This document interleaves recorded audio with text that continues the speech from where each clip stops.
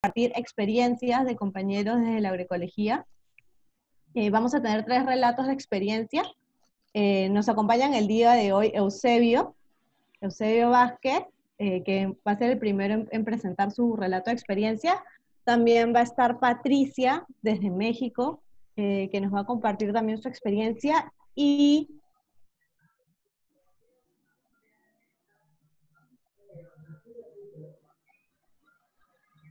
un segundo, Olinda, eh, que es una artista chipil. Eh, la dinámica de nuestra escuela es la siguiente, nosotros tenemos bloques en la escuela y después de cada bloque, en, el final, en la sesión final, vamos a estar compartiendo relatos de experiencia. Eh, vamos a empezar en esta ocasión con, con Eusebio.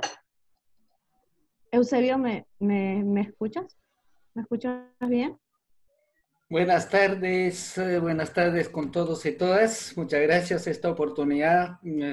Sí, por favor, había enviado mi exposición, me, dijeron el tema de organización. Sí, eh, como, eso quería compartir con ustedes, más que compartir también, quizás mm, de repente algunas dudas, algunas, eh, mm, como quien dice, curiosidades, eh, podemos ir conversando, pero quiero hacer la presentación desde AMPE Perú, y a la vez felicitarles a cada uno de ustedes este, que están promoviendo la agroecología. Eh, nosotros, este, las personas mayores, eh, venimos preocupados que los jóvenes todavía no se eh, incorporan, pero creo que ya con ustedes es un gran avance, es un gran futuro y hay gran esperanza, me parece. Muchas gracias. Gracias, Eusebio. Elena, no sé si me puedas ayudar con la presentación de las diapositivas. Eh, para comentarles un poco de la dinámica del día de hoy, eh, vamos a tener a, los, a las tres personas que nos van a relatar sus experiencias. La primera va a ser Eusebio y cada una va a tener un periodo de 20 minutos Luego de este periodo de 20 minutos de cada una de las presentaciones, vamos a pasar a una ronda de preguntas. Entonces les pediría que por favor les hagan llegar las preguntas a sus tutores, tutoras, y también le puedan hacer llegar las preguntas que tengan por el chat y las vamos a ir recogiendo para hacerlas en una ronda final de 30 minutos.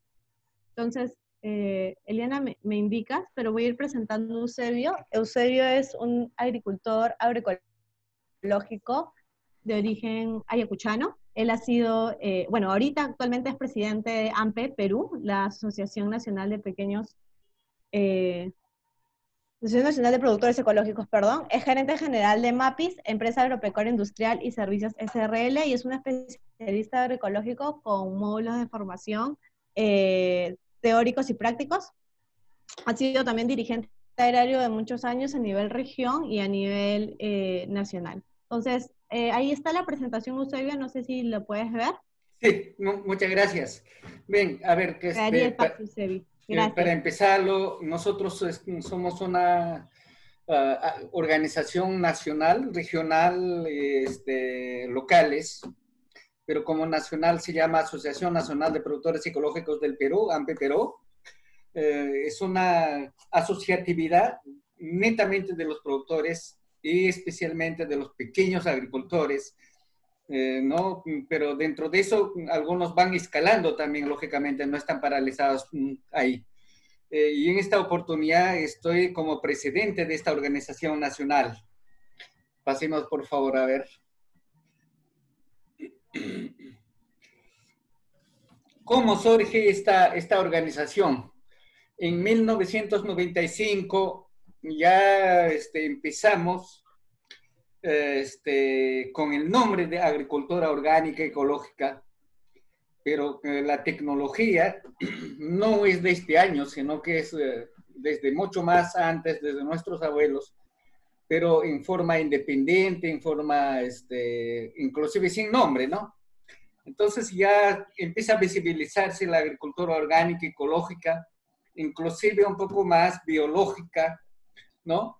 Entonces ya empieza a organizarse los pequeños productores y este, venimos con un pequeño grupo, no, no tan grande, y este, empezamos ya este, legalmente el 2 de junio de 1998. Eh, con tres organizaciones regionales, Cajamarca, Huánuco y Cusco, con 250 productores, empieza, ¿no? Y en actualidad contamos con 32.600 agricultores a nivel nacional. Eh, bueno, en estos niveles sí, definitivamente, hay este, en algunos bastante avanzados, en algunos todavía, pero ese es en actualidad que tenemos más o menos 22 años de organización. Hemos llegado este, a 32 mil. Pasemos, por favor. Tipos de socios que tenemos en la organización, el 70% más o menos es este, pequeños agricultores familiares que conservan la biodiversidad. Este, no, nosotros mucho apreciamos, mucho trabajamos las semillas de la biodiversidad, pero no solamente en, este, en productos de cultivares, también en hortalizas, eh, inclusive eh, hortalizas nativas, introducimos a las huertas, a las chacras, y eso es este, una gran actividad para nosotros. El 15% ya más o menos quizás sí, actualizando un poquito más ya ahorita, eh, ya están organizados, pero dentro de la pequeña agricultura familiar, los microempresarios, ¿no? Y asimismo también ya, bueno, dentro de los 250 les decía que algunos productores ya un poco más avanzados ahora ya son exportadores, por ejemplo, los bananeros de Piura, algunos cafetaleros también, entonces, vamos avanzando uh, realmente, escalando también a un poco más mayor. Entonces, esa es el, este, mm, la organización, va, viene formando, apoyando, fortaleciendo el tema de producción agroecológica a sus bases asociados. Pasemos, por favor. Tengo 20 minutos, me parece.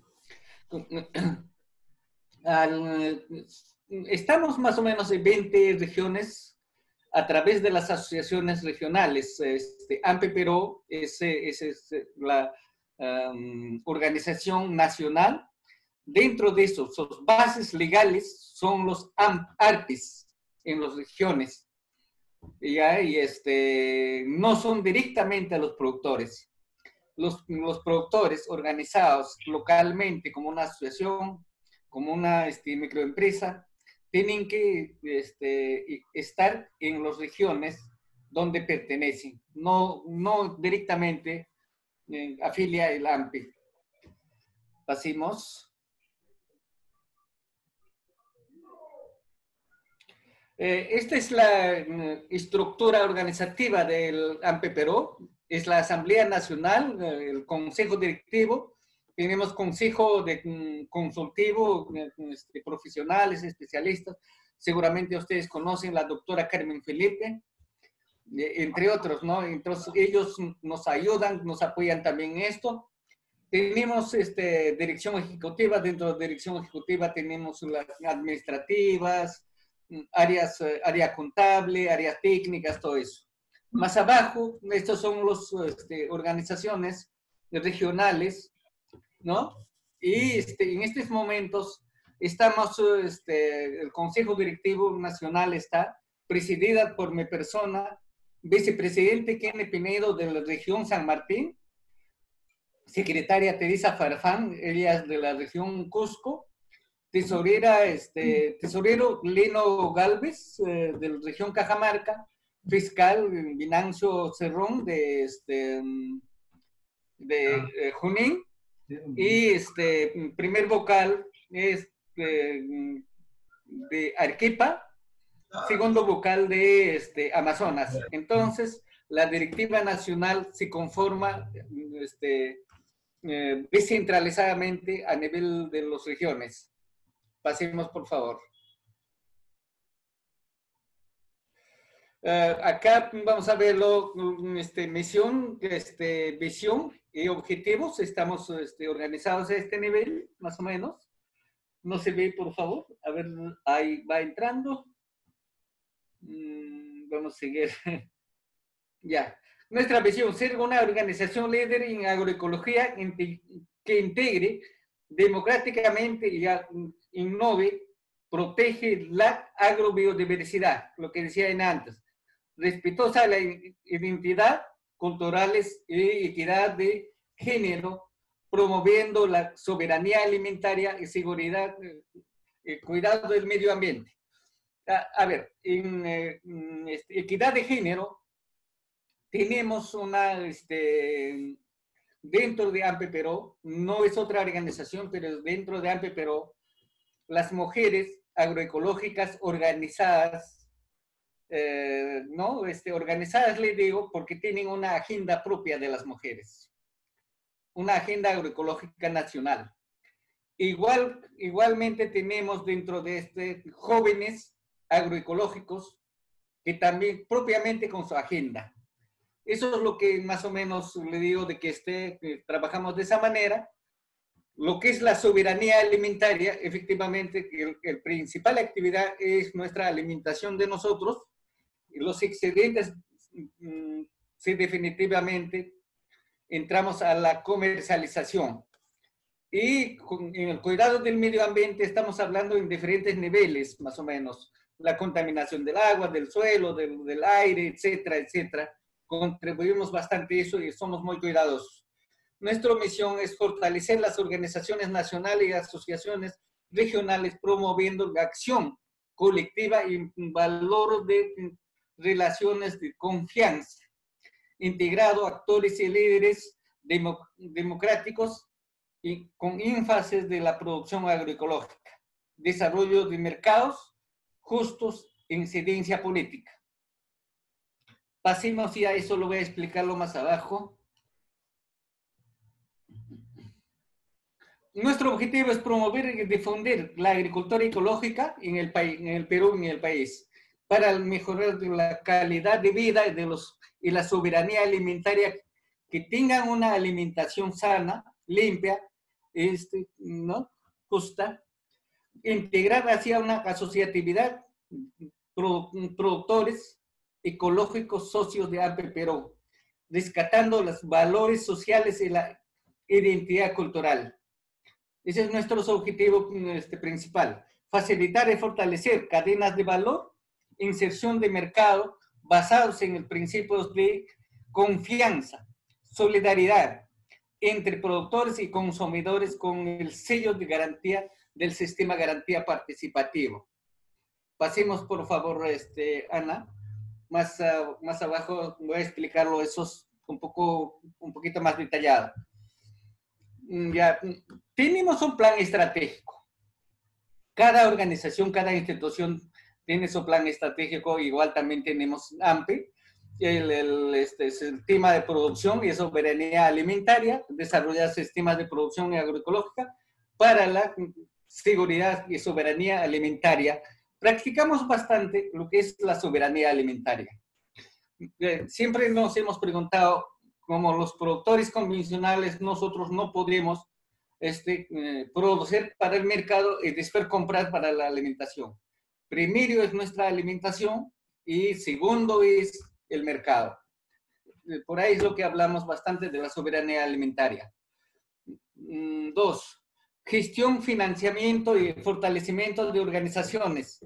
Este, este trabajamos con algunos proyectos, eh, practicamos también bastante dentro de esta gestión de financiamientos con instituciones públicas, privadas, para buscar financiamientos. Eh, las organizaciones, si no tienen presupuesto, eh, muy rápidamente tienden a desaparecer. Entonces, eso tratamos de hacer. Eh, también desde las bases hay este, algunos aportes, pero eso no cubre a la, este, la estabilidad de la organización. Entonces, tenemos que hacer eh, este, proyectos para buscar financiamientos. El tercero es el, este, no, mm, segundo, tercero, mercado y sistema garantía participativo. En esta parte todavía estamos, quiero decir con toda la sinceridad, estamos todavía bastante este, débiles. Estamos trabajando algunas ferias, eh, ferias más resaltantes que tenemos es Huánuco, Basi Huánuco, otros todavía son este, eh, regularmente y otros ni siquiera hemos empezado todavía. La otra parte es de que este, mm, eh, nacional hacíamos algunas ferias este, anual. Yo últimamente estuve empezando a trabajar en algunas ferias mensuales, pero con esta situación estamos paralizados. Y asimismo, este, trabajamos dentro de esto el sistema garantía participativo, que es para la certificación de productos orgánicos ecológicos. Em, bueno, en el, en el cuarto tenemos este, incidencia política. Desde esta incidencia política hacemos bastante trabajos, pero también lo que promueve la agricultura orgánica ecológica del país es también trabajo fuerte, trabajo duro, como, como AMPE, pero esos bases, la ley que promueve, este, ley 2916, que promueve la agricultura orgánica ecológica en el país. Eh, hemos este, luchado casi ocho años eh, para sacar esta ley, cuatro años más o menos para hacer reglamentarla. Igual estamos peleando con el sistema de garantía participativo porque hay dos certificados en el país, lo podría decirla, que le llamamos certificados de, este, mm, de terceros, que es una certificadora de empresas internacionales y netamente para este, exportación de productos. Y así, este, eh, este es, eh, más o menos cuestan de 3 mil dólares hasta 10 mil dólares. Entonces, los pequeños agricultores no tienen posibilidad de pagarlo eso.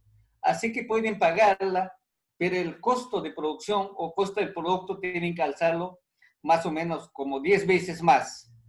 Entonces no tiene sentido para nada. Entonces seguimos insistiendo y seguimos trabajando, haciendo la incidencia hacia el Ejecutivo.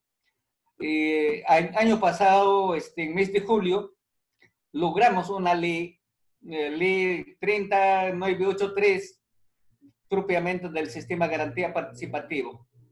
Pero resulta que esta ley supuestamente salía para apoyar a los pequeños agricultores para los mercados locales.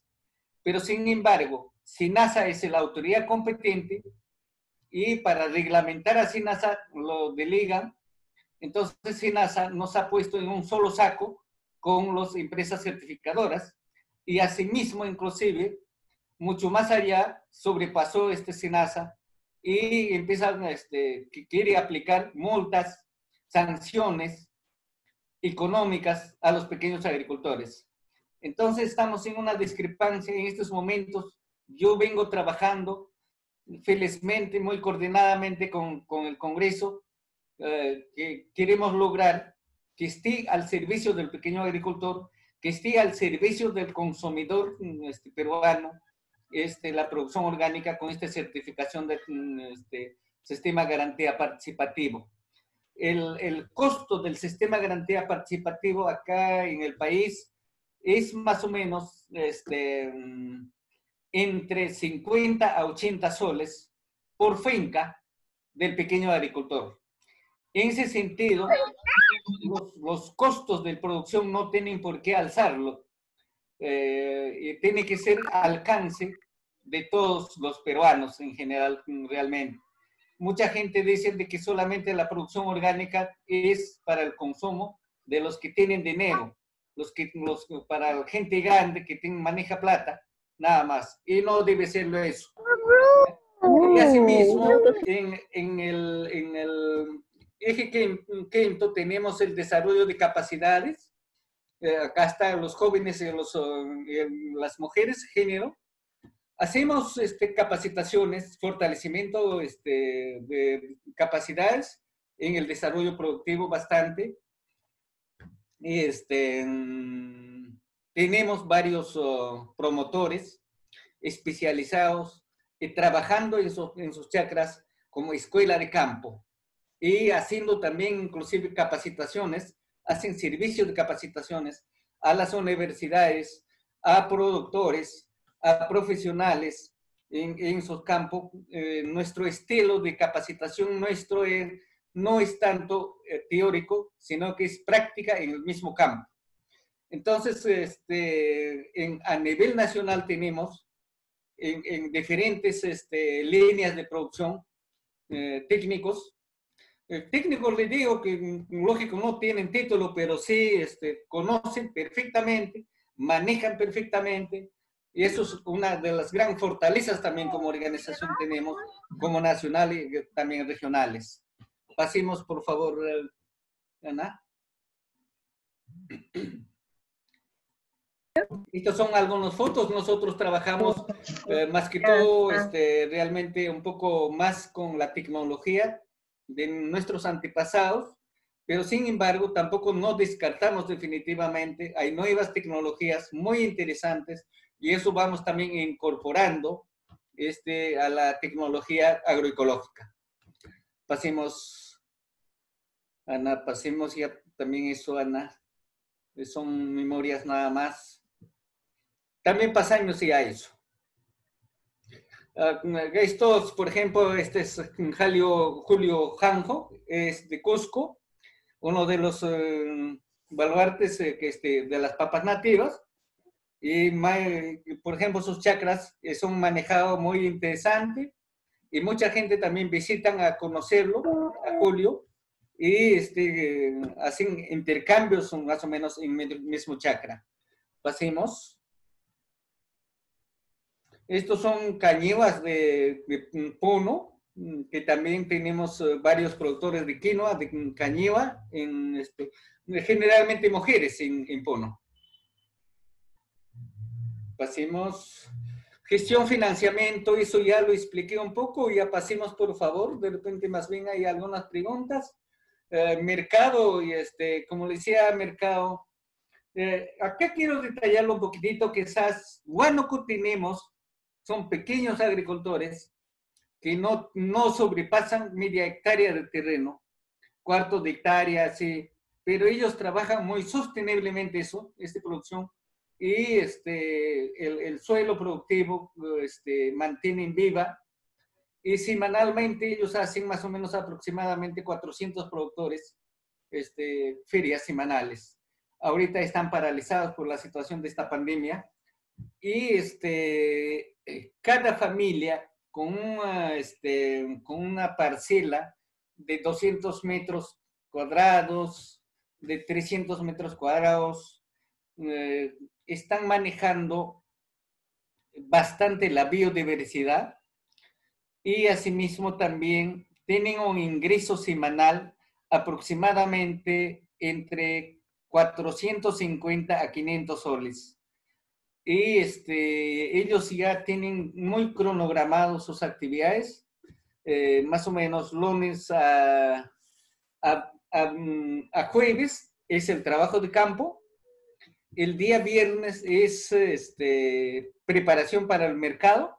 El día sábado participan en la feria y el domingo hacen sus otras actividades, sus, eh, cada, cada familia tiene diferentes actividades, ¿no? Entonces, así bien cronogramado, tienen sus tiempos y trabajan esto. Entonces, ese es el ingreso más o menos, un promedio de 450 a 500 soles semanales de estos pequeños agricultores, pero ya manejado muy este, sosteniblemente sus chakras y la biodiversidad. Pasemos, este, Ana.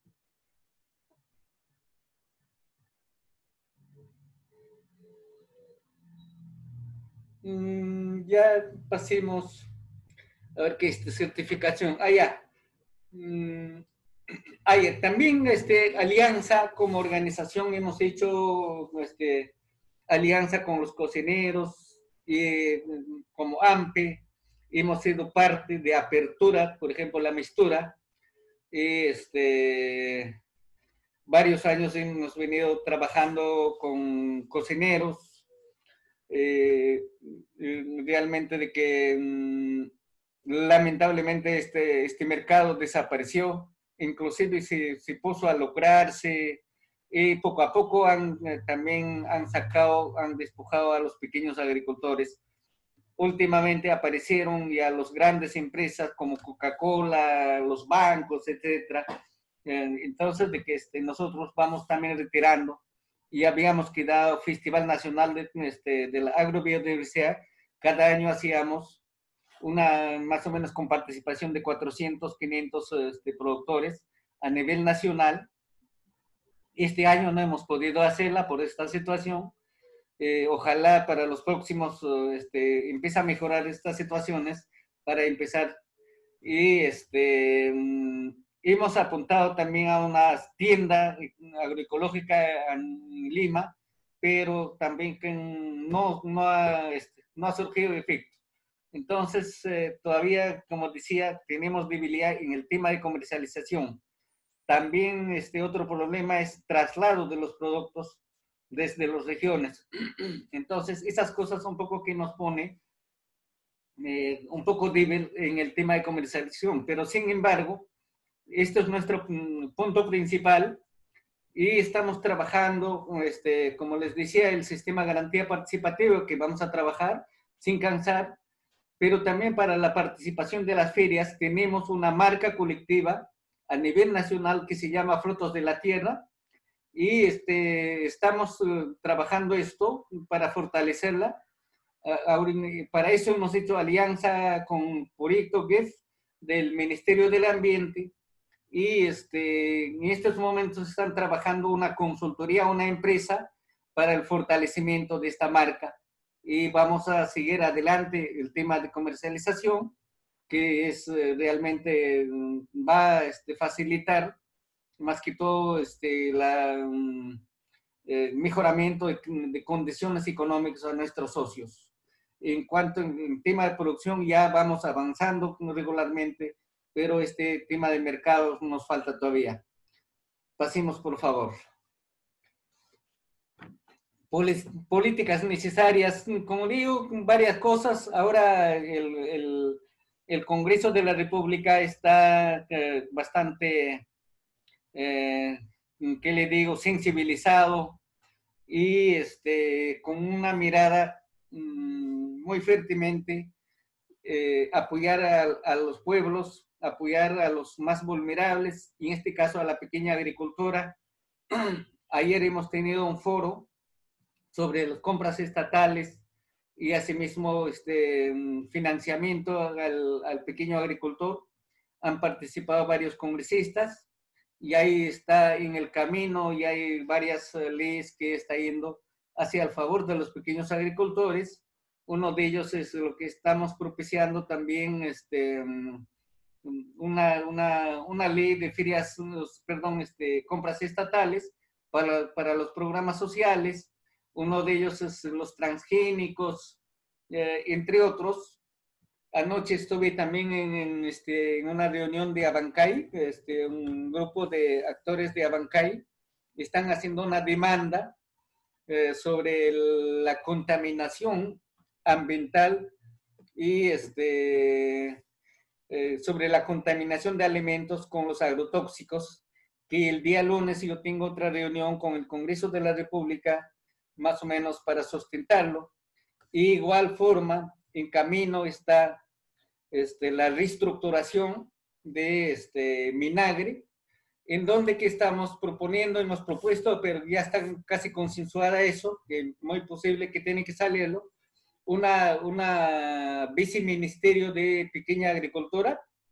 Igual estoy también haciendo un trabajo este, técnico y jurídico que debe crearse también dentro de Menagre este, una dirección nacional de agroecología. Entonces, eh, incidencia política bastante lo hacemos y este, son muy interesantes importantes que también eh, desde el Congreso de la República como organización nos consideran para participar y para hacer llegar las realidades este, a los legisladores eh, de nuestros oh, productores y producción agroecológica. Pasemos, Ana. Bueno, con esto creo que termino. Muchísimas gracias, sus paciencias. Ojalá que habría este, explicado algo que puede ser interesante, pero acá le espero eh, algunas preguntas. Ojalá que no me revolquen nada más. Gracias, Eusebio, por tu presentación, por comentarnos sobre la experiencia de AMPE. Eh, te quería comentar que tenemos compañeros y compañeras de diferentes eh, regiones también, y diferentes países. Tenemos compañeros y compañeras de Colombia, Brasil, Uruguay, Chile, Argentina, que también te están escuchando. Eh, quería pedirles también a la gente de Facebook que estamos en transmisión en vivo que nos puedan indicar desde dónde nos ven, desde dónde nos escuchan. Eh, Eusebio, no, no sé, me parece que... A, ¿Me permites un, un, minutito nada más? Entonces, este, desde AMPE Perú, le damos bienvenida a, nuestro país Perú y eh, felicitarlos sus participaciones. Eh, otro que no he puesto en ahí, entre este, AMPE Perú, y Colombia, Ecuador, estamos uniéndonos las organizaciones de productores. En estos momentos estamos en ese trabajo y asimismo proponiendo también este, algunos proyectos de desarrollo agroecológico entre los tres países, que muy posiblemente que vamos a ampliar este, en Bolivia, entre otros seguramente más adelante. Gracias. Gracias, Eusebio. Eh, te invitaría, no sé si tengas tiempo que te puedas quedar hasta la ronda de preguntas. Vamos a seguir con la presentación de Patricia y luego con la Olinda. excelente, excelente, excelente. Muchas gracias, Eusebio. Eh, entonces ahora pasaríamos, Patricia, no sé si te encuentras ahí.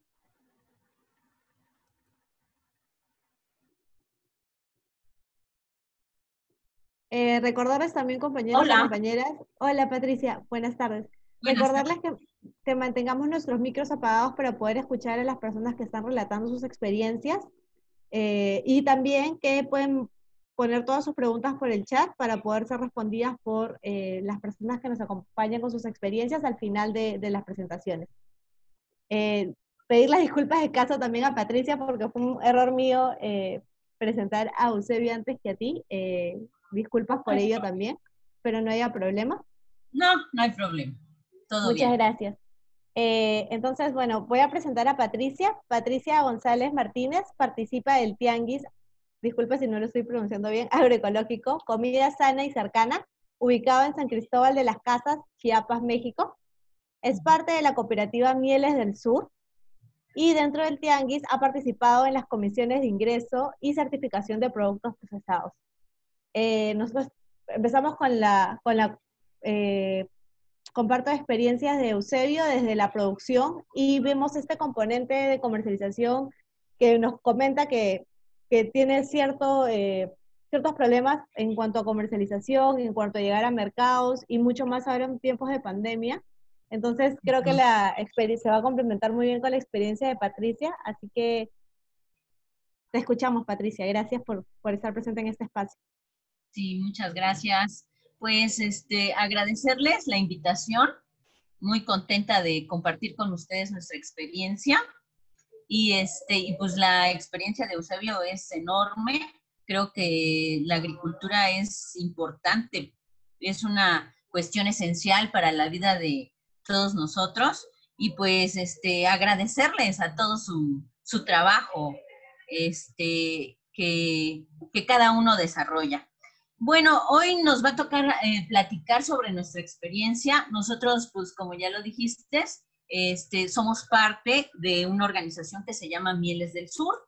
Esta organización tiene sus inicios en 1999 y cuando este, pequeños productores del sur de Chiapas eh, buscaban oportunidades de comercialización para su producto que este, principalmente es miel y café. Aquí en los Altos de Chiapas este, son los productos que se hacen para, más que nada para la venta. Y aparte, pues son los productos para el autoconsumo, como es el maíz, el frijol, la calabaza y muchas otras este, verduras y demás que hay para el autoconsumo, la crianza de, animales. Entonces, eh, estos compañeros eh, eh, agrupados en Mieles del Sur, pues buscaban este, una alternativa para poder comercializar su, miel. De hecho, en Chiapas desde 1950 existe eh, la presencia de, este, de comercializadoras o de este, compradores alemanes que, este, que, o compradores mexicanos que mandan el, el producto a exportación. Es así como este, los productores encontraron a un grupo de, estudiantes de la UNACH, aquí se llama UNACH, Universidad Autónoma de Chiapas, y ellos se dieron a la tarea de buscar mercados directos. Así encontraron a los compañeros este, belgas de una cooperativa también solidaria con pequeños productores eh, llamados Maya Fair Trade. Ellos ya trabajaban en Guatemala comercializando miel y había una crisis eh, en la producción de miel en Guatemala y estaban buscando eh, nuevos proveedores, pequeños productores que pudieran apoyar. También así fue como hacen la conexión este, estos estudiantes con, este, con los productores de acá de, de Mieles del Sur y se comienza la exportación de miel.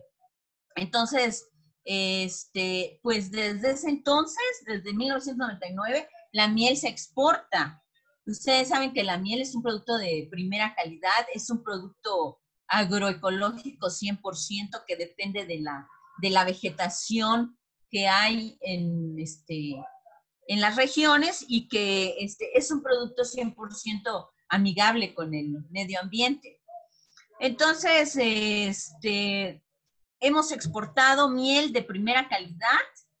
Desde 2010 también estamos certificados eh, por una certificadora de, tercera parte, como se le dice, y que es un producto para exportar. Y pues eh, todos, la mayoría de, la producción de la cooperativa se va para la exportación. Entonces, también tenemos este, nexos acá con eh, varias este, organizaciones que se dedican a la investigación, que se dedican a la agroecología, y en esas eh, instituciones está el Colegio de la Frontera Sur. El Colegio de la Frontera Sur este, tiene este, varias maestrías, doctorados y tiene estudiantes que se relacionan luego con las, eh, con las organizaciones cooperativas que hay en la región. Así, en el 2002, eh, un grupo de, de, este, de, mujeres, estudiantes de una maestría, pues estaban estudiando justamente agroecología y ella se preguntaba dentro de sus estudios, bueno, aquí en, en los Altos de Chiapas hay muchas verduras, de hecho, pero muchas verduras provienen de, este, de, de lugares a donde se usan, usan muchos agroquímicos. Y hay otras verduras que también provienen de lugares en donde son las verduras regadas con aguas limpias. Así que ellas se dieron a la tarea este, de, contactar a pequeños productores locales que produjeran de manera limpia los alimentos para las familias. Y así en el 2002 se forma lo que es la canasta orgánica, una organización de pequeños productores, este, de la cual nos invitan a participar desde, el, desde 2002. Esto era, este, eran 150 familias que organizaron esas estudiantes de COSUR y que hacían semanalmente pedidos a este, de, una lista de productos, de productos locales que habían, este, que habían contactado estas compañeras. Y así estuvimos trabajando durante dos años este, en ese concepto de, de pedidos semanales y que nos conocíamos como, o nos dábamos a conocer como canasta orgánica. Entonces esto fue un espacio que, este, que nos dio la oportunidad de promover nuestros productos de manera local y de resaltar el, el buen trabajo con, con, la tierra, con la naturaleza y, este, y para la buena salud de los consumidores. Porque como te decía, nosotros como Mieles del Sur solo exportábamos y la verdad es que no vendíamos miel en, de manera local, porque este, el precio de la miel es muy este, disparado en comparación con el azúcar convencional. Entonces, pues muchas familias, eh, por su poder adquisitivo, pues consumen azúcar. Pero también muchas familias también están preocupadas por, por la salud y por el tipo de productos que se consumen. Entonces, este, así fue como nosotros eh, nos conectamos y fuimos parte de esta iniciativa de, canastas orgánicas. Después de dos años de trabajar como canasta orgánica, este, nos reunimos todos los productores que formábamos parte de, esta, de este proyecto y decidimos convertirnos en tianguis. Y así es como nos convertimos en tianguis y escogimos el nombre, trabajamos un taller y todo. Y al final de cuentas, pues es, somos tianguis, agroecológico y artesanal, comida sana y cercana, en donde participamos más de 30 este, productores algunos somos cooperativa, como por ejemplo Mieles del Sur, y otras, como hay otra cooperativa de quesos, por ejemplo, que se llama La Poma Rosa, y otras son iniciativas familiares de productores locales que, este, vendemos cada semana de manera semanal.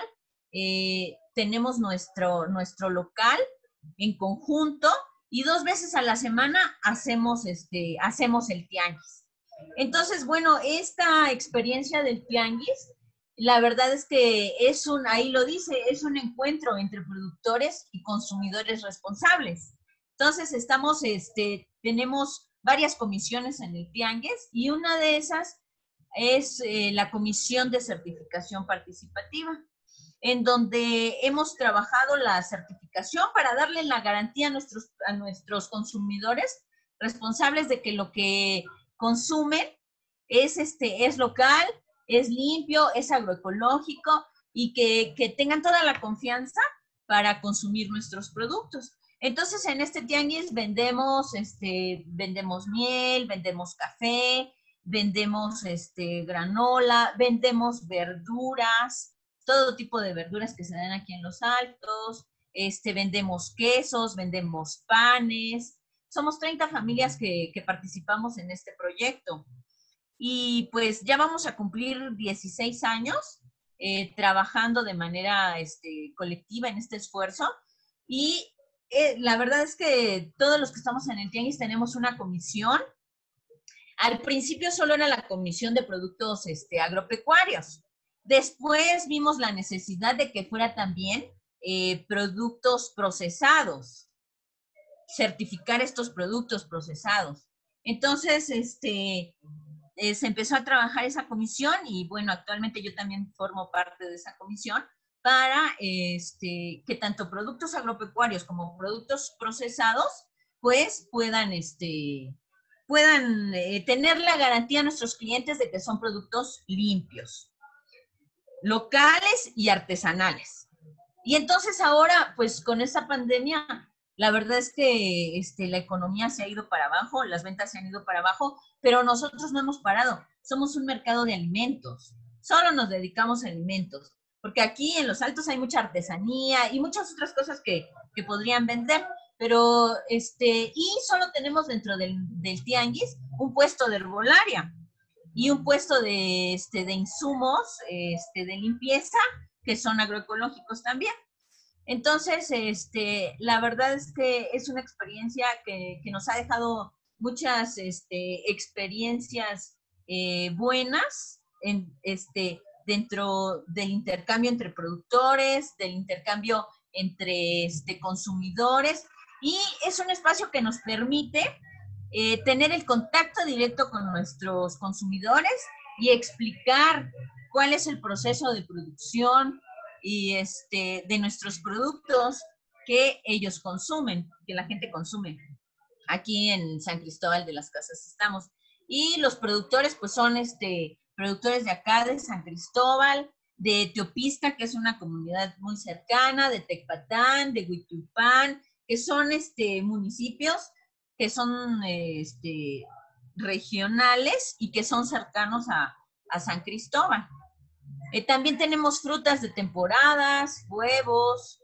Este, la verdad es que hay muchos productos este, que buscan muchísimo nuestros consumidores, que buscan alimentación sana y también cercana, como lo dice nuestro, el nombre del tianguis. Pues esa es la, este, la experiencia que, que yo les puedo compartir y si tienen algunas preguntas o inquietudes o incluso este, observaciones, pues ya saben, aquí estamos. Muchas gracias, Patricia, por la por la presentación de la experiencia de comercialización que nos comentas. Es muy buena, como tú comentas, ya tienen 16 años.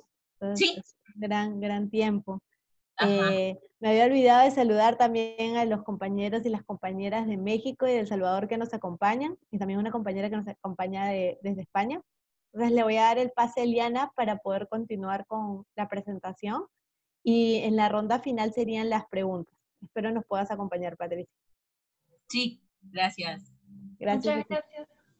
Gracias, eh, Ana Gracias, Patricia. Gracias, Eusebio. Ahora queremos invitar a la compañera Olinda Silvano. Ella es artista y lideresa shipiba de la comunidad Cantagallo aquí en Lima y además es embajadora de la cultura shipibo con Ivo. Eh, Olinda, ¿estás por ahí?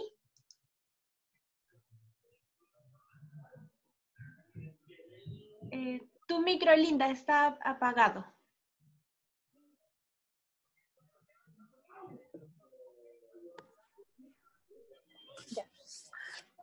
Hola. Hola, Linda. Hola, Linda. Eh, antes de empezar, recordarte que son 20 minutos de presentación y quería saber si prefieres que te avise cinco minutos antes eh, para que vayas controlando el tiempo. Ah, ya. Mm, solamente ahorita es presentación. no, eh, ya tu, tu charla. Ah, ya. Hola, muy buenas tardes. Hakuyanta.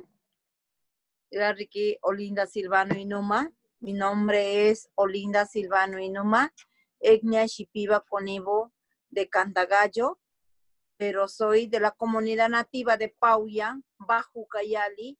Pertenezco eh, Loreto con Cayali y Padre Márquez, ¿no? Y distrito de, de, de Loreto, ¿no? Provincia de Loreto, distrito de Padre Márquez. Pero ya radico acá en Lima, en Cantagallo. ¿No? Cantagallo es una comunidad, ¿no? Interculturalidad que empezamos con 15 personas y ahora estamos con 238 familias, ¿no? El año 2020 eh, creamos la, la, comunidad Cantagallo, de lo cual ahora seguimos luchando y acá en territorio de, de, también es nuestro, porque somos peruanos, ¿no? Ignacipivo, eh, donde que nosotros queremos difundir nuestra cultura, nuestra identidad cultural, el arte amazónico, el arte shipibo conibo, ¿no? Hecho a mano, con tintes naturales, telas, ¿no? Bordadas, así como que ven estos, ¿no? Estos son hechos a mano, bordado, ¿no? Y también hacemos pintura hasta esto mismo, ¿no? Bordado, hecho a mano, ¿no? Entonces, este, así trabajamos con la corteza de caoba, ¿no? Estos, mira, esto está trabajado, hecho, eh, teñido con cinco días, según la naturaleza, el sol, y lo que nos ayuda a fijar, a secar la tela, y después pintar con el barro negro, con el barro, barro, eh, solamente es una tierra de laguna virgen que extraemos de la selva, ¿no? En nuestros territorios. Entonces, con eso lo pintamos este arte y al lavarlo ya queda negro, ¿no? Esto no se utiliza, o sea que así nosotros trabajamos, ¿no? Nuestros artes. En nuestro territorio están los, los materiales, ¿no? Como la cuchapana, como el mango, como el, la caoba, la corteza, ¿no? Entonces con eso trabajamos.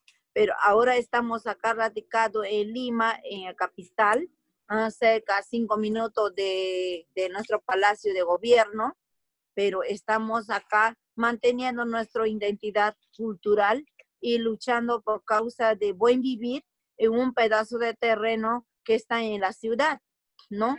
Y entonces eh, hay personas que nos reconocen y no nos reconocen. El Estado hasta el momento, desde 2000 hasta ahorita, no nos reconoce, ¿no? Siempre está diciendo que, que esperemos, que esperemos y va pasando y va pasando y nunca llega, ¿no? El año 2016, eh, Cantagallo el, dos, el 4 de noviembre de 2016 fue incendiado toda la comunidad, ¿no?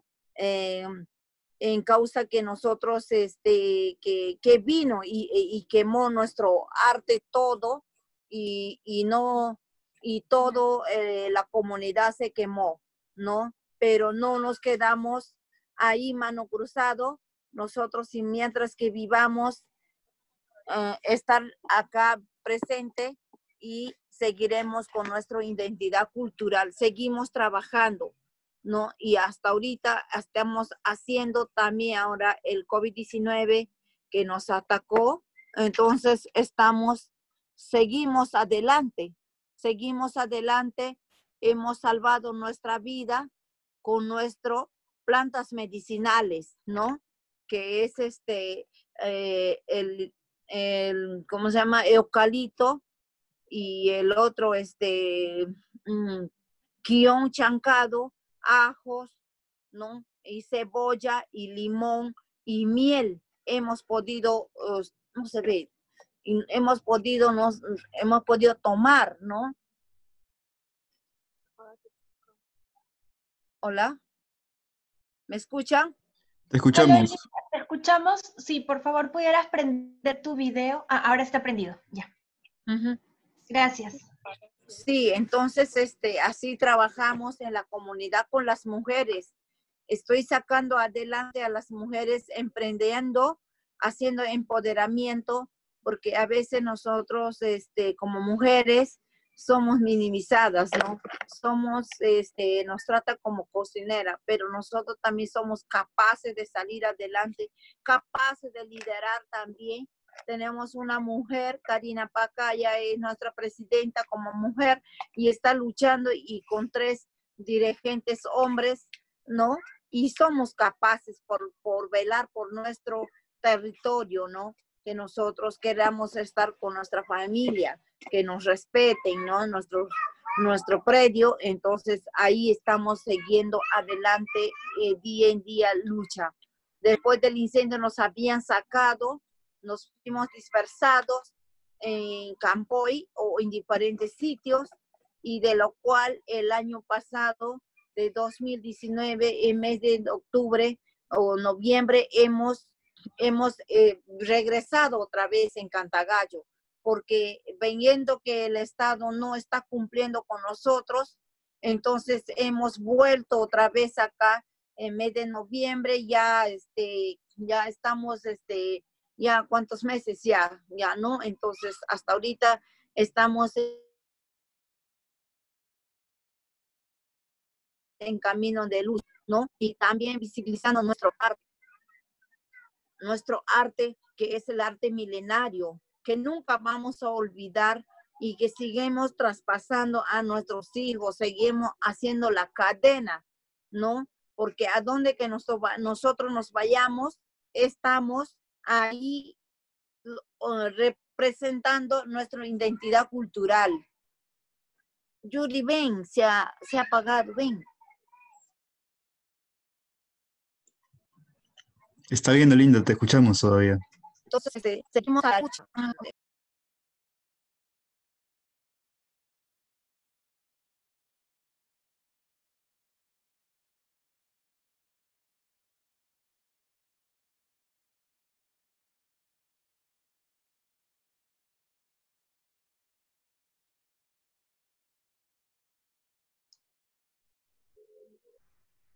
Olinda, ¿nos escuchas? Ya está. Ahora otra vez ya. Bueno, así estamos trabajando, ¿no? Y diferentes identidades, diferentes, diferentes identidades como la Ministerio de Cultura, como el turismo y Perú. Pude viajar a Rusia a pintar el mural en Madrid también, en Canadá, en México, ¿no? Y este año iba a ir en México también, en la Ciudad de México, a pintar en el museo, ¿no? Y, pero no pude por el COVID, ¿no? Por el COVID-19. Todos mis viajes cortado gracias a mi arte. Nosotros ya estamos ya empoderadas, ah, haciendo nuestro, lo que nos gusta, ¿no? Para poder sobrevivir y para poder sacar adelante a nuestros hijos. Hola. Hola, Hola. Linda. Sí te, sí te escuchamos. Ah, ¿no? En esa forma estamos trabajando, hacemos cuadros también, o sea, somos mixtos, haciendo cosas como dice en mil oficios. Eso es lo que nos enseñó nuestros padres para poder salir adelante. Si otro no sale con otro tenemos que salir adelante. En las chacras, en las comunidades, nuestros padres, nuestros tías, nuestros abuelos siembran eh, el agricultor, ¿no? Que es el maíz, que es el plátano, que es la yuca, que hacemos, eh, la yuca se viene a turrar y farina sale una bola así, pero rico para, este, nos puede durar tres años, ¿no? Si es que sabemos almacenar como hormiguita, por más que viene a creciente, porque en las comunidades crece el agua, eh, crece el agua, entonces halaga a las comunidades. Entonces, este, el agua, eh, la- el plátano, la yuca pudre y todo se cae y todo se pierde.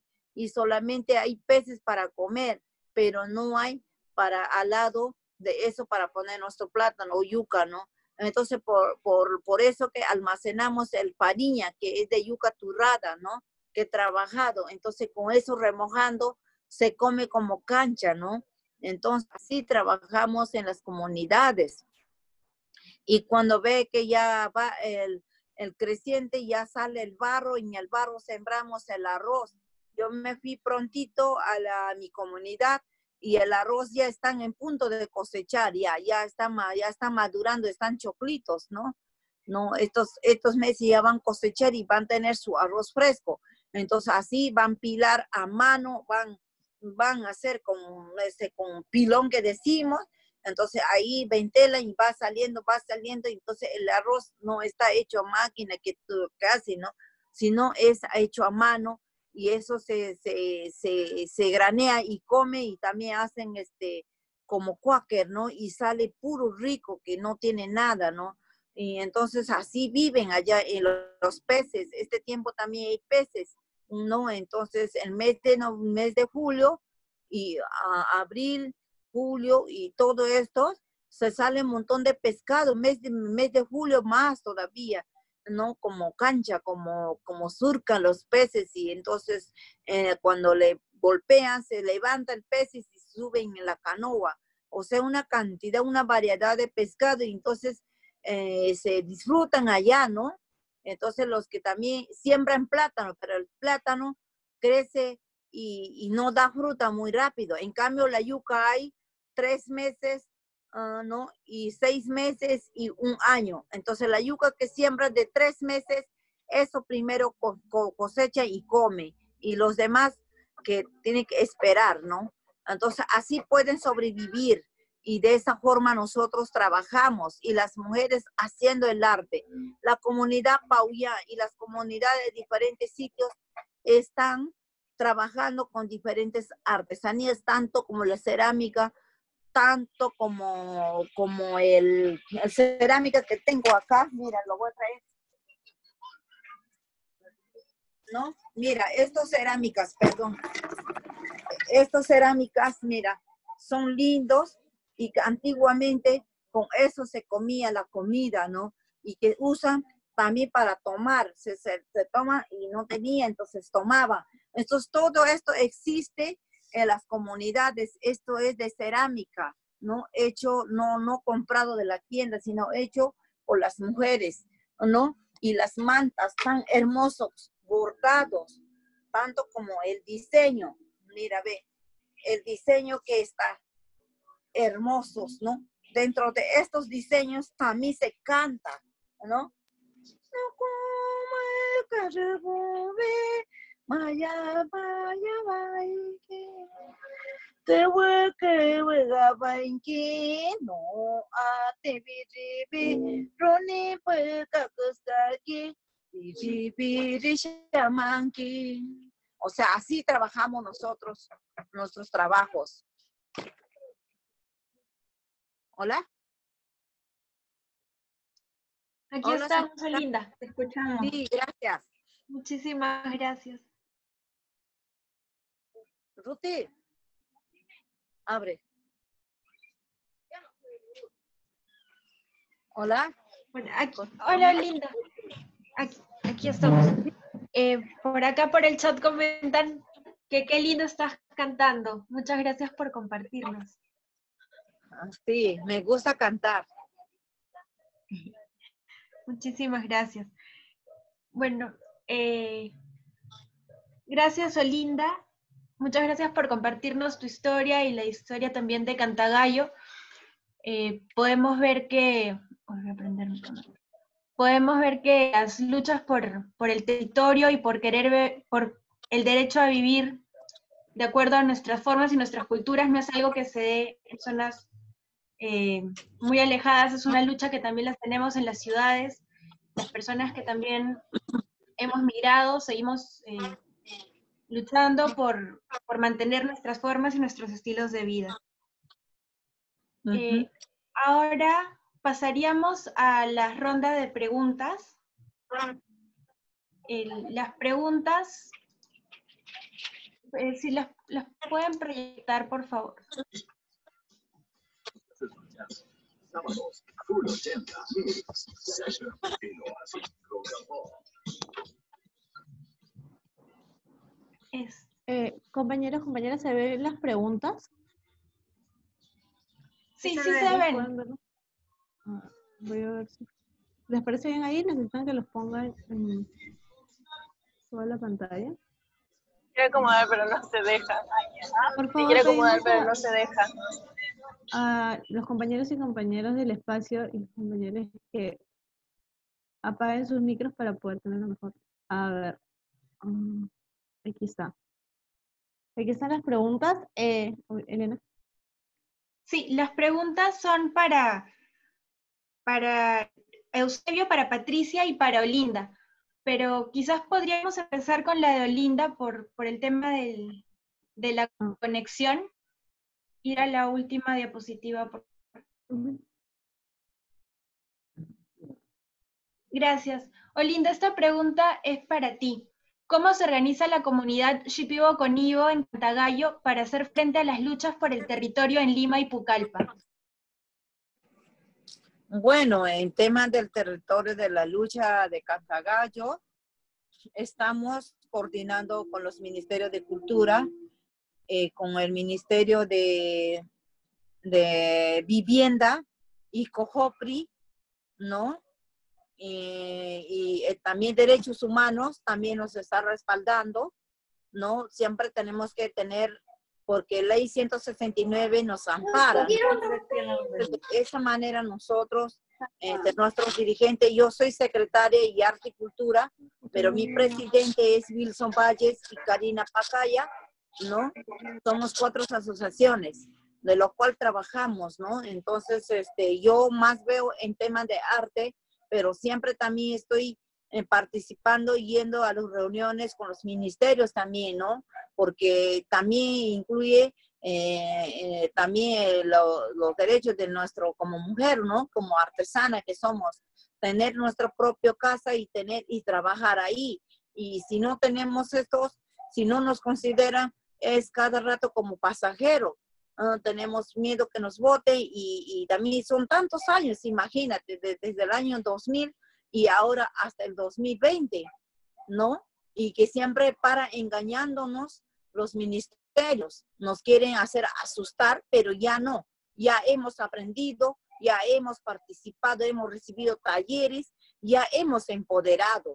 Entonces nuestra presidenta lucha cada vez, cada día, está haciendo documentos presentando también que nos respeten. De esa manera hemos entrado acá porque ya nos iban a votar, ¿no? Ya nos iban a votar en mes de diciembre, ¿no? Como engañándonos, nos, nos, está- y nos iban a dar sorpresa, pero nosotros también hemos buscado la estrategia y hemos entrado a Cantagallo, porque si no, ¿qué fuéramos nosotros? Porque vivir en una comunidad es bien bonito, mantener nuestra costumbre. Entonces no puede, no podemos permitir que alguien nos destruya lo que nosotros estamos viviendo, porque, eh, porque es nuestra tierra también acá. de tierra de los, de los incas también, por eso están los cerros San Cristóbal, acá vivimos alrededor del río, orilla del río Rima, acá que ya ahora está en cemento, pero así sentimos, porque nosotros en el Ucayal y en el Pucallpa vivimos en el río, ¿no? En el río, orilla del río Ucayali, ¿no? De río, eh, de río amazónico, ¿no? De Iquitos, de Yurimagua, de Tingo María, o sea, de todo, ¿no? Entonces nosotros somos de, de río Ucayali. En las comunidades también hay gentes usurpadores que entran y se dueñan de los terrenos y votan los dueños del, de, la tierra, ¿no? Hacen sus, como tienen plata, hacen sus, sus sacan sus maderas, ¿no? Destruyen las, la, la, las, los telas de madereros también están ahí. Entonces todo está, el bosque está destruyendo, el, pul, plumón del mundo, porque eso es lo que es en, el, en, la, en nuestra Amazonía, el pulmón del mundo y la farmacia escondida, ¿no? Y que nosotros podemos curar con, los, con las plantas, ¿no? Lo que tenemos. Entonces, eso es lo que nos está pasando y algunos pueden titular su terreno, pero algunos están molestando, aunque tiene título, están molestando porque hay bastante madera, porque hay bastante animales, o sea, hay cosas. Entonces, de esa manera, ¿no? Pero la lucha continúa de los etnias shipibo con Ivo, de los, no solamente shipibo, sino de toda clase de etnia que vivimos, que cuidamos. Nosotros somos el dueño del bosque, el dueño de nuestro territorio y tenemos que cuidar, plantar nuestros, nuestros chakras, ¿no? Hacer las chakras, porque vivir de la chakra es más bonito que comer el químico acá, que ya están procesadas, ¿no? Gracias. Gracias, Olinda. Continuamos con, con las preguntas, por favor. Eh, a ver si me ayudan aquí. Es, mm, ya, a ver. Eh, ¿Me pueden poner las preguntas, por favor? Sí, un momento, Eliana, ahorita las ponemos. Gracias. Perdón. Eran dos preguntas para Olinda. Ahí está. Aquí Un está. segundo. Eh, ¿Cómo son las relaciones actuales con las comunidades nativas originarias? Y la otra pregunta, ¿nos podrías contar sobre el significado del canto en la comunidad vivo con Ivo? Ah, la primera pregunta que era, no me acuerdo, no escuché bien. ¿Cómo son las relaciones actuales con las comunidades nativas originarias? Ah, ya, ok. Bueno, está, nosotros también acá, están en el capital de Lima, mantenemos nuestra costumbre. Igualito visibilizamos nuestro arte. Y, y si, si nosotros hubiéramos estado en las comunidades, no hubiera visibilizado nuestro arte. Nadie hubiera sabido cómo qué es la cultura, ¿no? ¿Qué es la, eh, la? Entonces, allá cuando nos vamos nosotros, ya lo conocemos y contamos que nosotros estamos ¿no? Haciendo estas cosas porque pa- también pueden llegar las comunidades, si, si no tenemos acá una comunidad, a llegar al hotel, a llegar en un casa alquilado, pagan una cantidad de dineral y algunos no tienen, vienen a buscar, vienen a buscar su trabajo. Entonces, en primer lugar, ¿dónde llegan?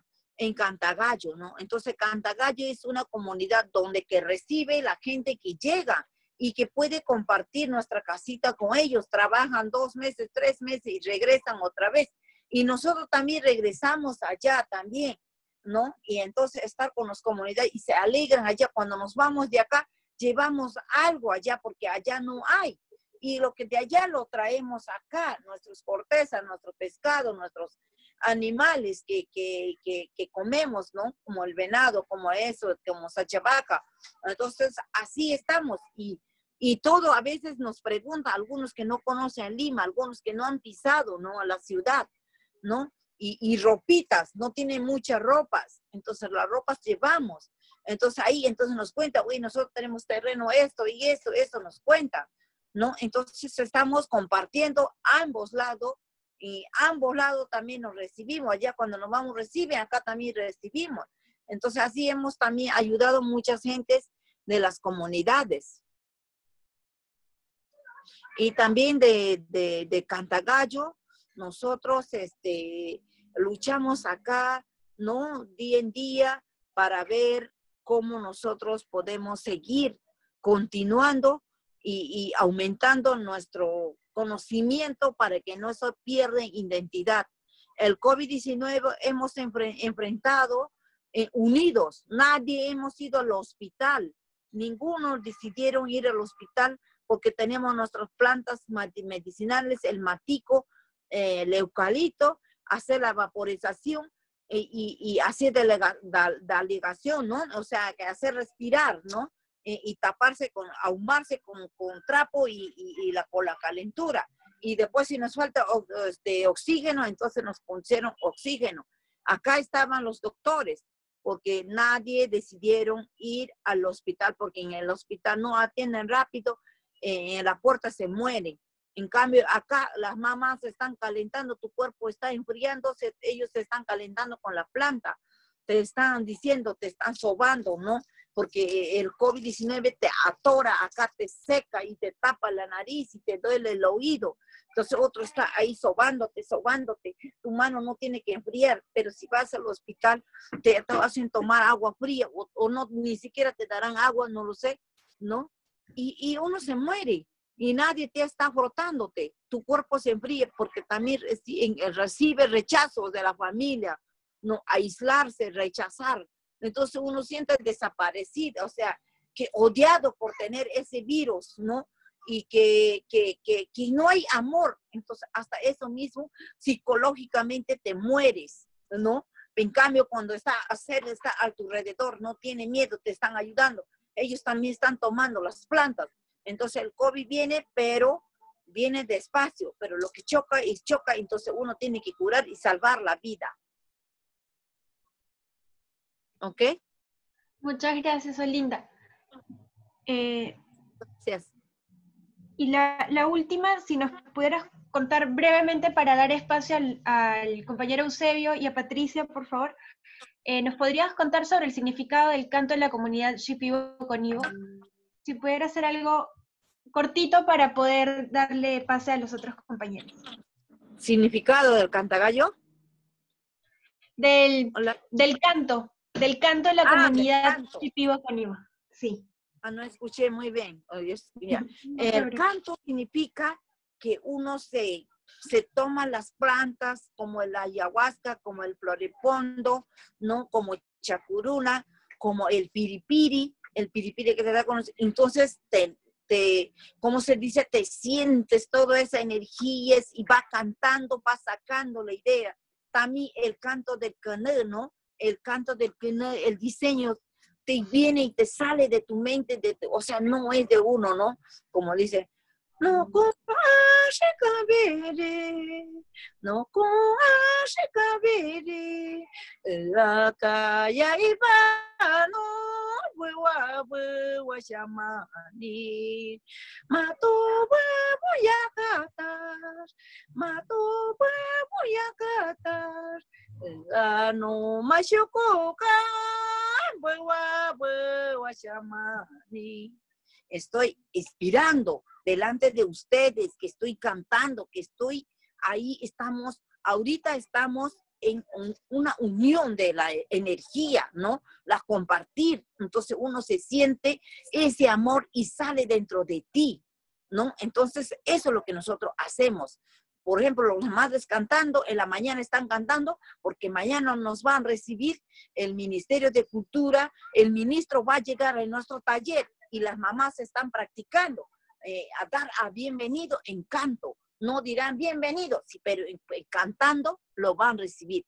Entonces hay canto para recibir, hay canto para visión de la ayahuasca, hay canto para, o sea, estar acá sin tomar nada a cantar lo que uno está presentando, ¿no? Y también el canto del diseño que va diseñando con tu mano, con tu conocimiento, con tu fuerza, con tu ser, que va haciendo el trabajo.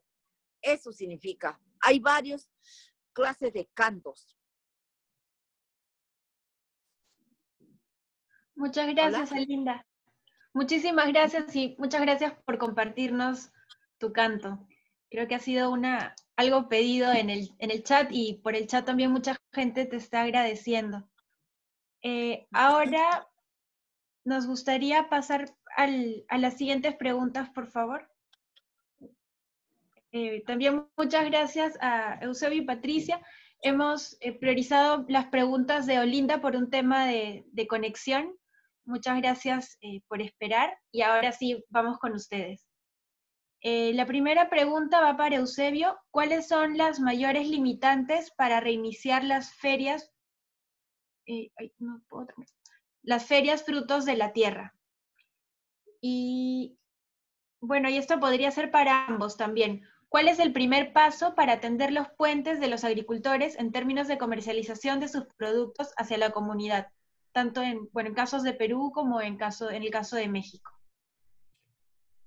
Eh, Elena, eh, Eliana, ¿yo lo, este o este, Patricia? ¿Quién entra? Eh, la primera sería para ti, por favor, Ya. y la segunda es para ambos. Mm, Ya. ¿Cuáles son las mayores, mayores limitaciones para reiniciar las ferias? Ya, ya, a ver. Eh, mm, estoy hablando en ferias a nivel nacional. Eh, por ejemplo, en antes les hablaba de Huánuco. Huánuco mm, tenemos mayor cantidad de participantes, pero este, este problema, eh, como todo el mundo sabemos, Huánuco está en bastante alto riesgo.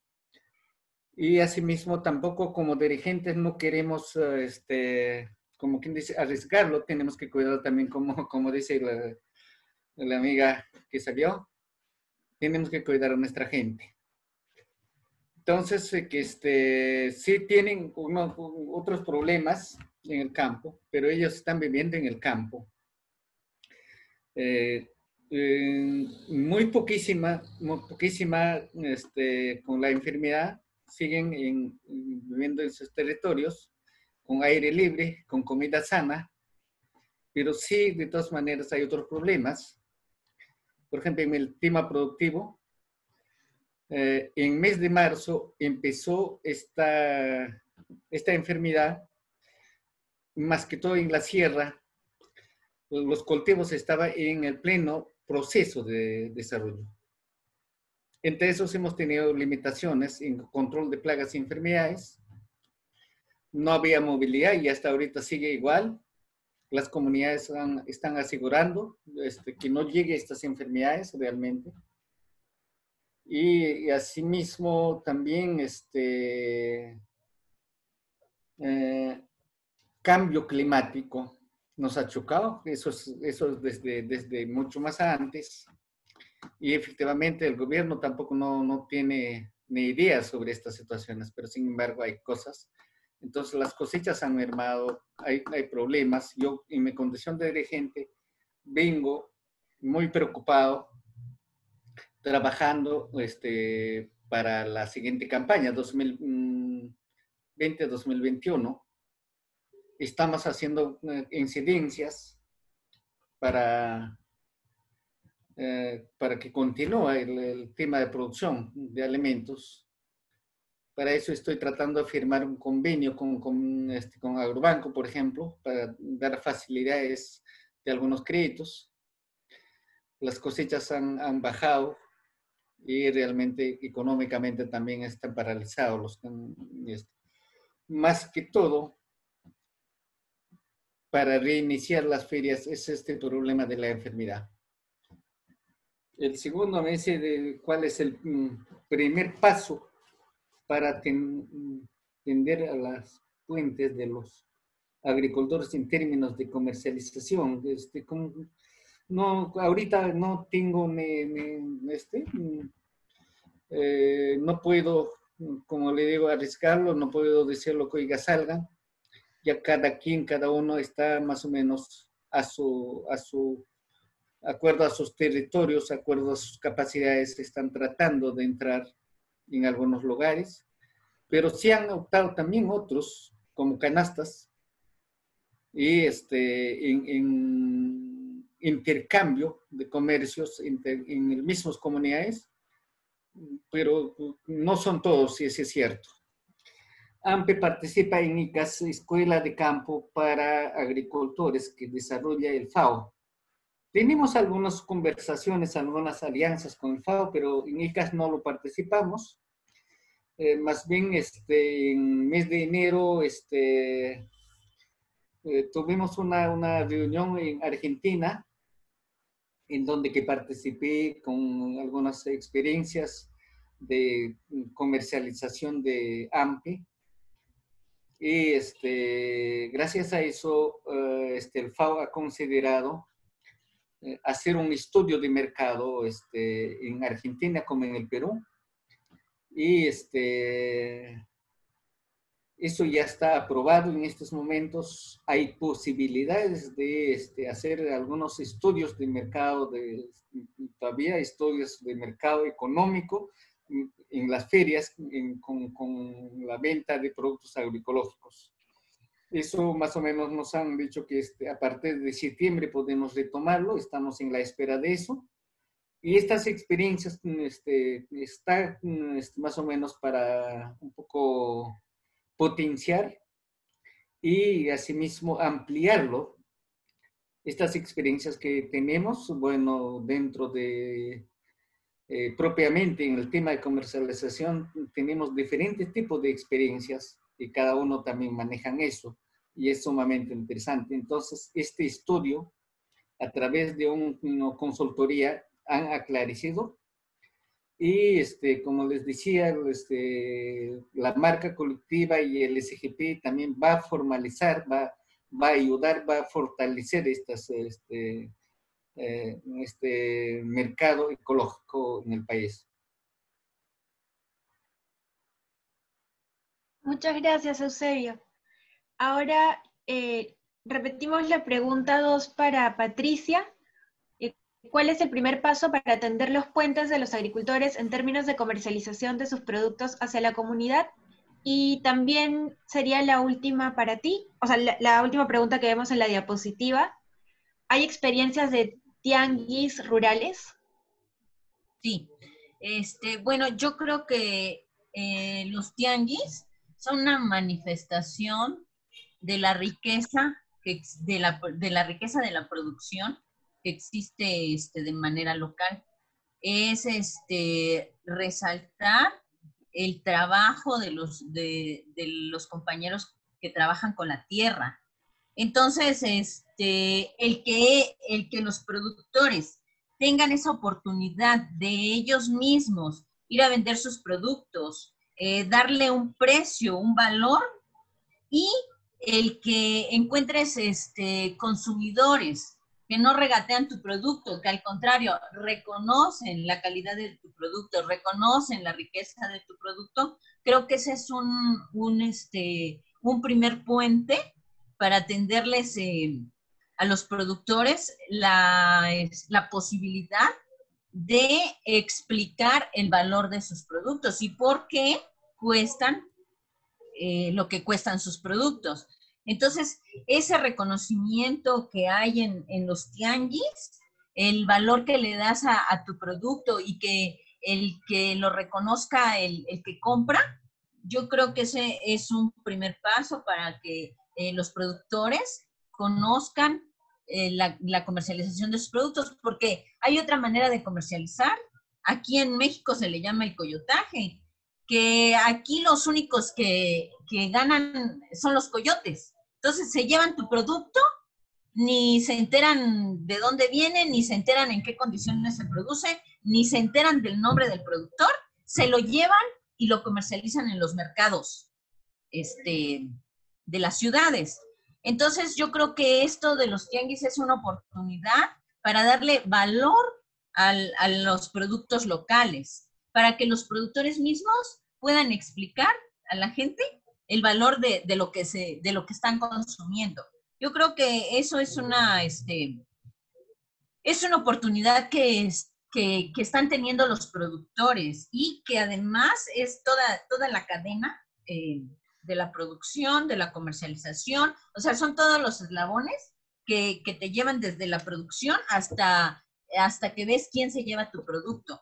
Creo que esa visión eh, es necesaria que la tengan los que producen para que los que consumen le den el valor que tienen que tiene el trabajo con la tierra y que tiene producir productos limpios, productos que no están contaminados, productos que no, este, que no te matan y que no matan a la tierra. Entonces, eh, pues yo creo que esa es una oportunidad este, muy buena que, y que está creciendo, estas iniciativas de tianguis están, están creciendo aquí este, en las ciudades y es el vínculo con las comunidades. O sea, esos tianguis no existirían si no están conectados con los productores. Entonces, este, y luego dice aquí, ¿hay experiencias de tianguis rurales? Este, sí, hay muchas experiencias porque les digo, hay muchas organizaciones trabajando desde las comunidades y están tratando de impulsar esas experiencias de comercialización que sean locales y enseñarle a los, a los locales del valor de los productos. Entonces, este, pues sí hay muchas experiencias aquí en todo el territorio de México, en todos los estados, ustedes saben que somos 33 estados acá en México, pues este, hay toda una red de tianguis en todos los estados. Y, este, y en cada estado hay muchas iniciativas en, en todas las ciudades, pero es la conexión directa con, con, los que producen, con las comunidades. Entonces, e, eso, los tianguis son una manifestación de la riqueza del trabajo de las comunidades.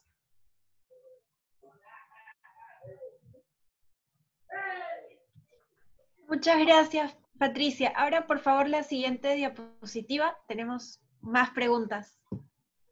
Eh, empezamos contigo, Patricia. Mm, acá.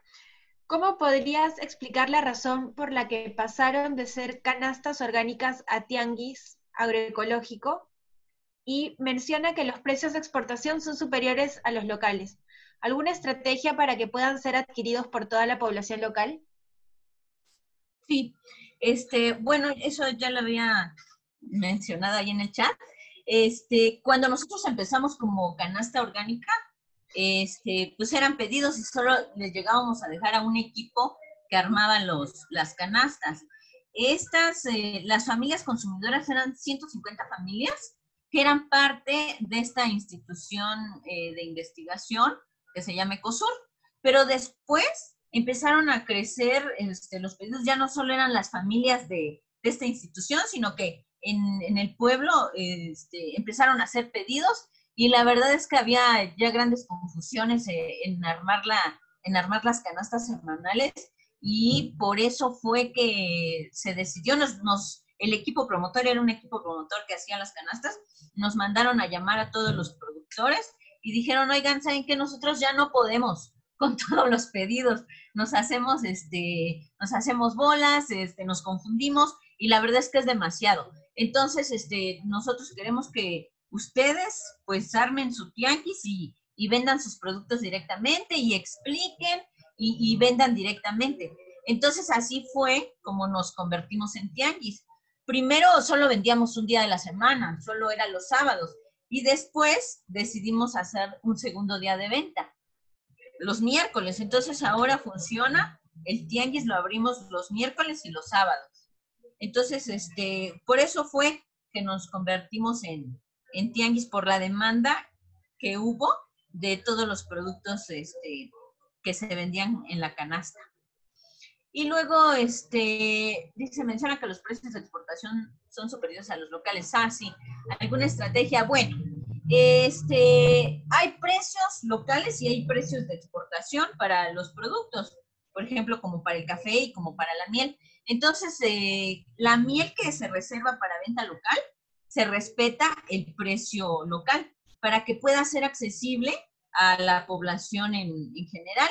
Y pues lo que hacemos es que este, tenemos diversos tamaños de diferentes precios, un cuarto, medio litro, tres cuartos, un litro, por ejemplo, la miel, el café, un cuarto de café, un medio o un kilo de café, y tienen diferentes precios y, este, y son precios, son los precios locales que se manejan de manera local para nuestros productos. Entonces, no, este, no son los precios de exportación, porque entendemos que los precios de exportación pues son cotizados en dólares y no tienen nada que ver con los precios este, locales, así que Este, eso es lo que hacemos, dejamos un stock y ese stock le damos el precio que se maneja de manera local.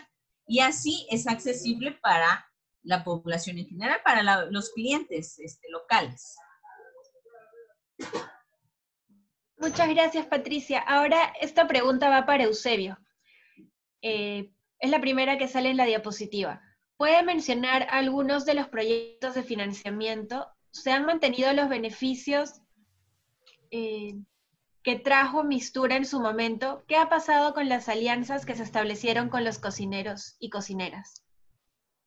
A ver, este, mm, con la mistura, sí, varios años hemos participado, varios productores hemos participado, y damos parte de este impulso de este mercado este, de mistura, pero como antes les decía, este, poco a poco empezó un poco em, reemplazar las grandes empresas a los pequeños agricultores específicamente, y empezó a monetizarse demasiado. Y este, inclusive un stand que costaba 6 mil soles hasta 12 mil soles, que ya los pequeños agricultores ya no pueden entrar. Entonces los pequeños agricultores, ¿cómo, entran? Es más o menos para vender sus productos para la familia, para la canasta familia, ¿ya? Y, este, por ejemplo, yo como productor de papa, más o menos el, el kilo de papa, de papas nativas, está mm, este, entre 2 soles a 3 soles, máximo hasta 4 soles más o menos, ¿no? Entonces, pagando 12 mil soles a un stand, no es posible entrar. Y por ahí vamos bajando poco a poco, pero también este, ustedes saben de que este, Mistura ya desapareció también. Y las alianzas con cocineros también va un poco va alejándose también. En estos momentos ya somos un poco más independientes que quizás de esta, de esta mecanismos como este, empezar este, el tema de comercialización. Últimamente a nivel nacional, es, eh, mensualmente estábamos empezando con ferias acá en Lima, pero un pequeño grupo, no, no tan grande, con el hospital Rivaliate y este, asimismo este, con UEFA en Decope. Nuestro meta era llegar un poco más allá, pero con esta situación del problema le hemos cortado, no, no podemos ahorita. Eh, eh, ¿Cómo ganar a los consumidores? Estamos, vamos a trabajar fuerte en esto. Eh, ASPEC es, es una organización que representa a los consumidores. Con ellos tenemos un convenio, que dentro del convenio hemos elaborado nuestro plan. Mm, el convenio está entre AMPE y ASPEC, pero también es abierto, no es tan, tan cerrado este, este convenio. En este caso, el proyecto MINAM este, se está integrándose también y ya estamos más o menos tres instituciones dentro de este convenio que vamos a fortalecer más que todo el tema de este, um, comercialización. Hay varias estrategias que estamos eh, tomando en esto, el tema de comercialización, pero también este, vam- vamos también mm, buscar algunas, eh, algunos proyectos, estamos en eso meta, este, para mm, fortalecer el tema de producción también, eh, desde el punto de vista empezando los manejos agroecológicos, este, mm, fortalecimiento de capacidades, pero también este, capacitando a los productores en el tema de inocuidad alimentaria, en las presentaciones, eh, el manejo de cosecha, post cosecha, todas esas situaciones, estamos en eso. Lamentablemente con este mm, pandemia que ya vamos llevando varios meses, nos están paralizando. Y cada quien también trabaja de sus casas, así un poco, y muchas veces la tecnología también este, falla, el internet está inestable, todas esas cosas nos están limitando en varios eh, casos, ¿no? Eh, y eso creo que es pregunta mía. Sí. Sí, muchas gracias, Eusebio. Eh, ahora para cerrar, nos gustaría pedirle a cada uno de ustedes que por favor nos dieran una, una última frase final con conclusión o algo que les gustaría compartir con el, con el resto de participantes. Y el orden sería eh, así, Patricia, Eusebio y Olinda. Y Olinda, como pedido final, si nos pudieras compartir otro, otro ícaro más, por favor, otro canto más. Así por ahí está Olinda. Pero a ver, vamos empezando. Patricia, por favor. Sí, bueno, yo solo este, agradecerles a, a la gente que está escuchando, a los estudiantes y agradecer a mis otros dos compañeros que estuvieron en, este, en esta conversación que tuvimos. Este, pues muchas gracias y que, que el sol salga para todos en estos tiempos.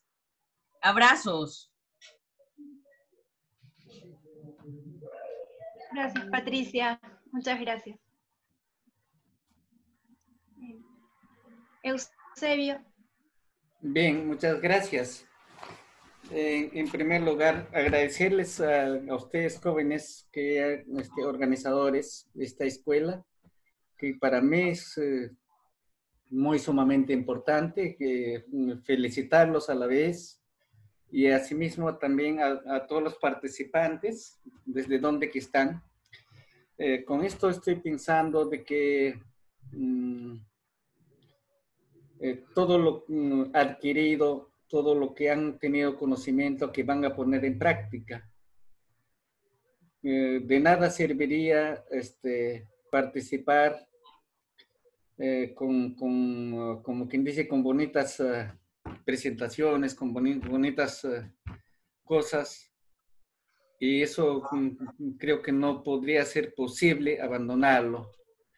Y este, estoy pensando también con ustedes es otra meta que va a empezar seguramente el impulso, eh, no solamente el aprendizaje de agroecología, sino que, como decía, poniendo en prácticas, en prácticas en el tema de producción seguramente y se va a extender a través de ustedes, eh, imagino que también eh, a los productores.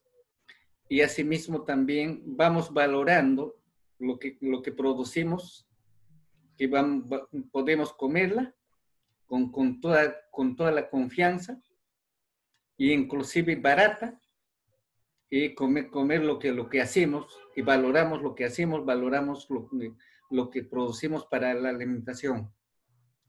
Y este, igual forma de que este, les, les, les solicito y les animo eh, que no, que no se quede esta, esta iniciativa, esta escuela de aprendizaje, aunque sea mm, virtual, pero, pero vamos avanzando.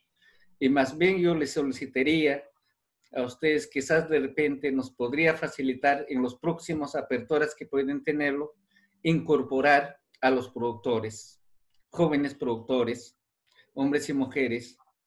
Y para eso, quizás de repente podemos coordinar con mi persona yo inclusive les proponería, quizás un poco más formal, para ir avanzando, que esto mediante un convenio, una alianza, yo qué sé. Y la verdad, la producción orgánica es sostenible, que mucha gente que no cree, la, la producción de alimentos sanos es sumamente importante. El mercado va creciendo nacional e internacional este, tenemos que avanzar, pero también tenemos que defenderlo, lo que es nuestro, nuestras semillas. Por ejemplo, caso de transgénicos, que, que son una amenaza grande, y justamente esta alianza que nosotros estamos haciendo como organización con Ecuador y este, Colombia, uno de ellos es el tema de este, transgénicos, el otro es el cuidado del, del suelo productivo y, la, este, el tema de cuidar, mejorar de las semillas, de la biodiversidad de semillas y finalizando con, con el mercado. Ya estamos tratando de pensar en mercado no solamente locales, nacional, sino que internacional, pero en forma organizada y en forma alianza entre los productores. Entonces, eh, eso serían mis palabras finales. Una vez más, mis agradecimientos y felicitarlos a cada uno de los participantes también. Muchas gracias. Muchas gracias, Eusebio. Olinda, ¿estás por ahí?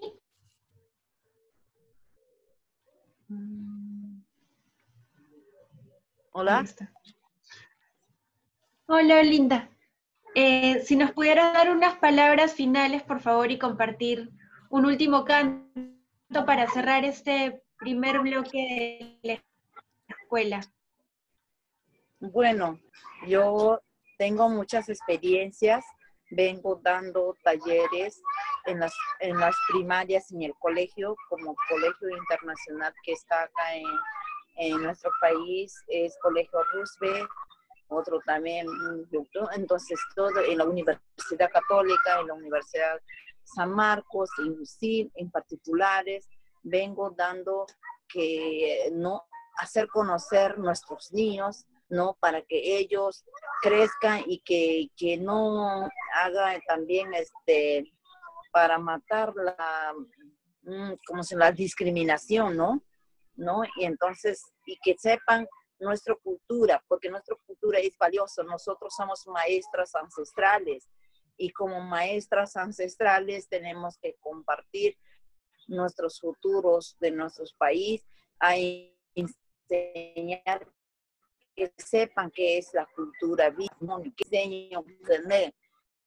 El diseño que es el que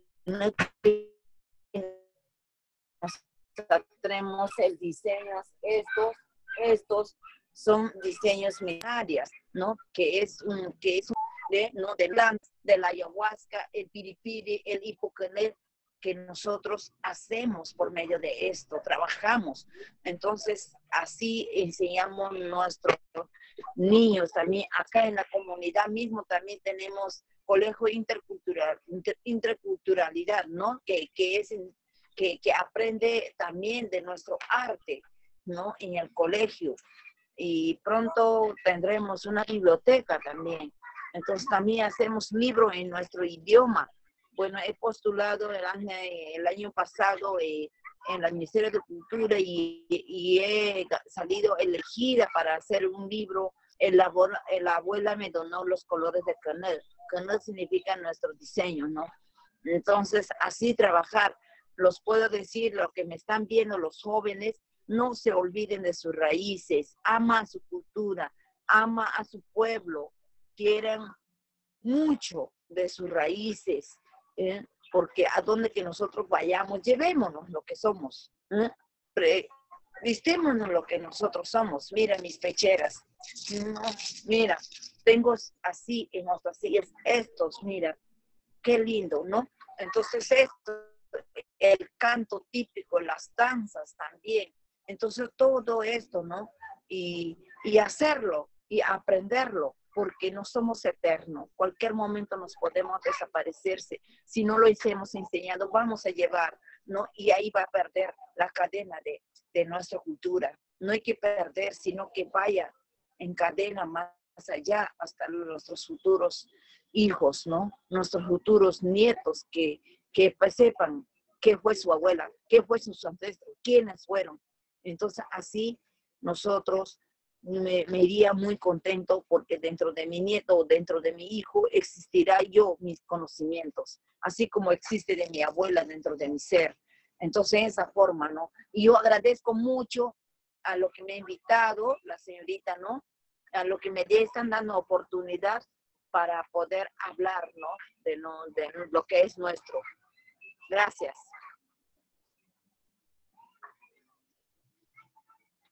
Muchas gracias, Linda. Muchísimas gracias, Linda, por compartirnos. Eh, queremos dar las gracias a Eusebio, a Patricia y Olinda por acompañarnos esta tarde, por su tiempo y por contarnos tan lindas experiencias. Antes de, terminar esta primera parte, eh, por favor, si podemos ir prendiendo las cámaras para una foto. Y mientras tanto, invitarles eh, también a las personas que nos están viendo en Facebook. Eh, a la siguiente semana es el inicio de nuestro segundo bloque, que es la tridimensionalidad de la agroecología, donde vamos a explorar un poco más eh, la agroecología como ciencia, práctica y movimiento social. Así que no se olviden, todos los sábados a partir de las 2 de la tarde están invitadas a seguirnos por Facebook. Eh, ¿Alguien puede ayudar con la foto? Por favor. ahí ¿Alguien de estoy. La coordinación. Ahí estoy. ¿Qué tal? ¿Cómo estamos, compas? En breve empezamos también con eh, las presentaciones de sus trabajos, así que también les invitamos a los compañeros y compañeras que han sido invitados a que puedan permanecer, si gustan, para ver las presentaciones de los distintos grupos.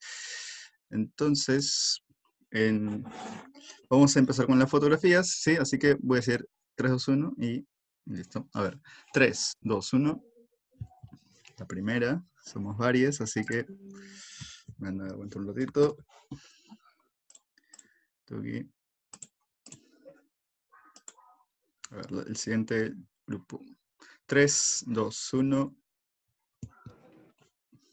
Listo. A ver, falta un grupo más. Un ratito.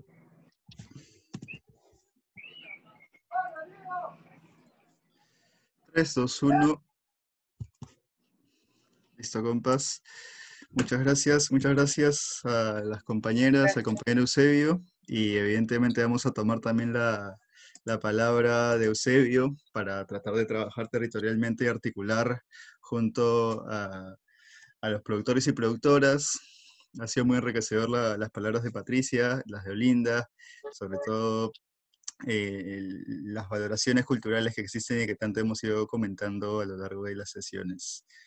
No sé, Eliana, Chía, si es que tienen algo más que, que comentar. Si no, también ya estaríamos despidiéndonos por Facebook. Nada más. Muchas gracias a todos y nos vemos el próximo sábado. Ah, Gracias. eh, Gracias, Olinda. Eh, Muchas gracias a recordarles también que, bueno, ahorita vamos a pasar, gracias, Olinda, vamos a pasar a plenaria, pero luego de ello va a haber una transmisión en vivo, eh, sorpresa, así que nos vemos en como en una horita más o menos.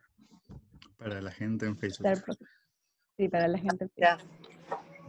Muchas Gracias, gracias. Patricia.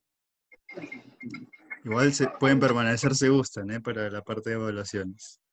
Eh, así que eh, en Facebook recordarles también de que se va a aperturar eh, una sesión, una vacantes más, ¿sí? para que puedan sumarse a la escuela. Hemos ampliado ne- la situación de nuestra plataforma, que antes era de 100, ahora tenemos un poquito más de capacidad. Y bueno, eso, así que pronto estaremos compartiendo unos formularios. Y la sorpresa ya la sabrán. eh, porque es sorpresa, si no dejaría de ser sorpresa. Bueno, Julio, ¿me ayudas por favor para dejar de compartir por